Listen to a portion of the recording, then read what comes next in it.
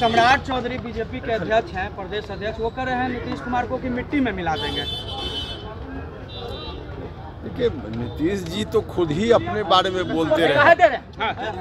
जिस शब्द के इस्तेमाल के कारण आप यह जो सवाल पूछ रहे हैं इस शब्द का इस्तेमाल आज सिर्फ़ सम्राट जी ने नहीं किया है। स्वयं नीतीश जी अपने बारे में बोलते रहे हैं कि हम मिट्टी में मिल जाएँगे लेकिन यह काम नहीं करेंगे। तो स्वयं इस शब्द का इस्तेमाल राजनीति के डिक्शनरी में तो नीतीश जी ने खुद ही किया है। तो आज अगर उनके बारे में कहीं से इस्तेमाल हो रहा है तो नीतीश जी को खुद ही सोचना चाहिए कि हमने जब इस्तेमाल किया था खुद अपने बारे में उस वक्त उनको करना चाहिए था कि नहीं करना चाहिए बीजेपी पे आरोप लगातार नीतीश जी लगा रहे हैं कि हम लोग काम करते हैं लेकिन प्रचार केवल बीजेपी वाले लोग करते हैं और इतिहास बदलने का काम बीजेपी लगातार कर रही है। देखिए नीतीश जी क्या काम करते हैं? जो खुद ही उनको अब एहसास हो रहा हो।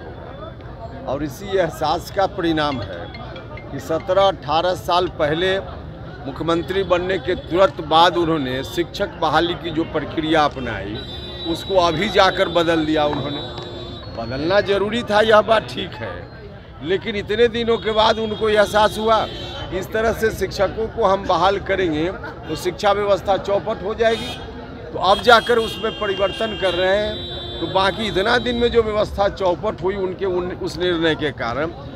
अब इस बात का एहसास तो खुद उनको करना चाहिए। अब प्रचार का जहाँ तक मामला है तो खुद अपनी गलती जो है उनको उनकी उसको सुधार लें।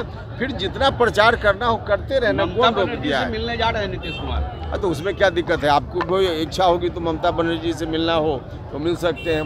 किसी राज्य की कोई मुख्यमंत्री या कहीं का कोई भी व्यक्ति हो उससे कोई मिलना चाहे उसमें दिक्कत क्या है?